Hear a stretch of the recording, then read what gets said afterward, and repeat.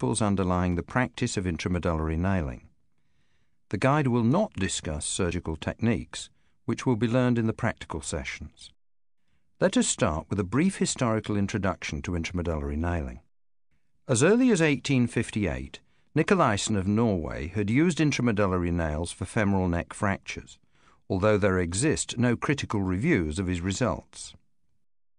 Smith Petersen in Boston developed a four flanged, then a three flanged, or trifin, intramedullary nail for femoral neck fractures. A few years later, Lorenz Böhler of Vienna was advocating the intervention of Smith Petersen, originally an open reduction and open fixation through the incision illustrated here. The original Smith Petersen nail suffered problems, including corrosion, and the technique was soon to be modified. Sven Johansson of Gothenburg, Sweden, described a cannulated trifin nail, which he inserted over a guide wire after a manipulative reduction under X ray control. This is the sort of intraoperative X ray apparatus that would have been used at that time. Gerhard Kuntscher in Kiel developed diaphyseal intramedullary nailing. Initially, he used a V section nail and then the classical cloverleaf elastic nail. Herzog practiced lengthening osteotomy of the femur, fixed with an intramedullary nail that was locked using an external jig attached to the proximal end of the nail, as early as 1951. By 1953, Kuntscher had his proximal and distal locking detensor nail. Elastic intramedullary nailing, using Kuntscher's classical slotted cloverleaf nail, relies on the squeezing of the nail slot as it is introduced tightly into the medullary cavity. This results in a tendency of the nail to spring open, which exerts pressure on the endosteal surface of the bone where the nail is in contact. This produces a tight friction fit over the length of the bone where that contact exists. The human femur has a curve convex anteriorly that forms part of the circumference of a circle, whose radius varies from 0.9 to 1.4 metres. Clearly, any femoral intramedullary nail must be shaped to an average curvature, and yet be capable of entering a range of differently curved femora. Some nails have a certain flexibility to adapt slightly to different curves.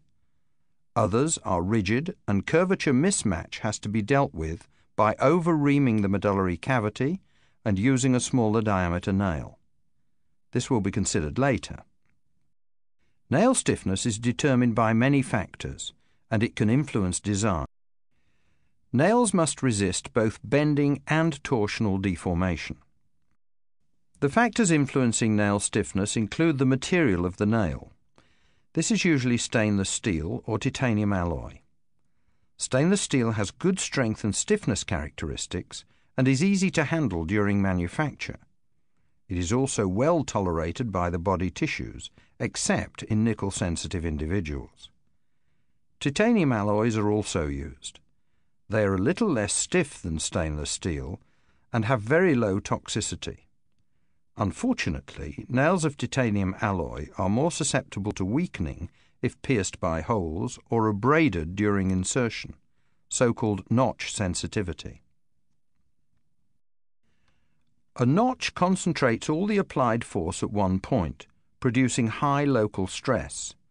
The notch acts as a stress riser. The nail may be solid or hollow. Experimental work has shown that, if infected, a hollow nail provides a sheltered environment in which bacteria can proliferate, whereas a solid nail does not. A solid nail is stiffer for a given diameter. This may be advantageous in resisting deforming forces, but the rigidity means that the nail cannot adapt to any curvature mismatch between the bone and the nail. Nail stiffness is also affected by whether the nail is slotted or unslotted. An unslotted cylinder is stiffer than a slotted one, especially in resistance to torsion. On the other hand, a slotted nail can adapt to small variations in the radius of curvature of the medullary cavity by deforming slightly at the slot. A slotted nail can also be used for its elastic friction grip if the fracture is near the isthmus of the medullary cavity, thereby obviating the need to lock the nail. This is, in fact, a rare technique nowadays. Using a slotted nail that will deform slightly to adjust the radius of curvature of the bone allows the use of a larger diameter nail than a solid or unslotted, less flexible nail of the same radius of curvature. The diameter of the nail also affects the stiffness. For a cloverleaf nail, the resistance to bending, so-called area moment of inertia, varies according to the cube of the diameter. For a slotted nail, the resistance to bending is greater if the slot is on the tension side. Torsional stiffness is also proportional to the nail diameter. For a hollow nail, unslotted or slotted, resistance to bending is proportional to the wall thickness. Working length affects the nail stiffness. The working length is that length of that section of a nail which spans an unstable bone segment and which is unsupported by bone. The bone may support the nail as a result of the interference or frictional fit of an elastic nail, or by locking the bone to the nail with cross screws, interlocked or locked nailing. With a nail locked on either side of a multifragmentary diaphyseal segment, which is axially unstable, the working length is the distance between the inboard locking screws. The greater the working length, the more a nail will deform for a given bending or torsional force.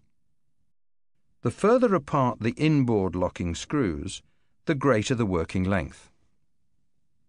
Reaming, whilst conferring some mechanical advantages, exacts a biological price. For a single plane fracture, the elastic hold of a slotted, unlocked nail, especially in resisting torsional forces, will be effective over a greater length of the bone if the isthmus is reamed to a larger cylindrical diameter. This will also accommodate a larger diameter nail and increase resistance to bending forces.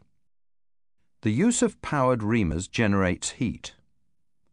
Poor reamer head design, reamer head bluntness, and aggressive, forceful reaming techniques can all increase the thermal output and risk causing bone necrosis. This slide shows the area of dead, cooked bone in a femur after reaming, then injecting the experimental animal with methylene blue immediately prior to sacrifice. The mere introduction of an intramedullary nail will damage the endosteal blood supply and cause some degree of avascularity of the inner cortex. Reaming increases this effect. As shown by Rhinelander, in the absence of infection, the avascular inner cortex will revascularize fairly quickly. It has to be recognized, however, that Rhinelander's experiments were conducted on intact bones in the absence of fractures. In the fractured bone, after intramedullary nailing, this revascularization may well take longer than is classically stated. The introduction of an unreamed nail delivers a lesser insult to the endosteal blood supply than a reamed nail. These composite figures show two stacks of diaphyseal cross sections, where the white is avascular bone and the magenta is vascular bone. There is a clearly visible difference between the reamed and unreamed specimens. Other reaming controversies centre around the effect of reaming on pulmonary function in the polytraumatized patient, especially in the presence of a chest injury, and the advisability of reaming in open fractures. These debates will not be visited in this study guide. Finally, an important factor is the choice of the proximal insertion point. This should be in line with the medullary cavity and is usually in the piriform fossa. For slotted nails, there is a certain margin, as the nail can adapt to a certain degree by twisting and bending a little, but a solid nail, incorrectly inserted, can cause iatrogenic fractures, even if the nail's radius of curvature matches exactly that of the bone.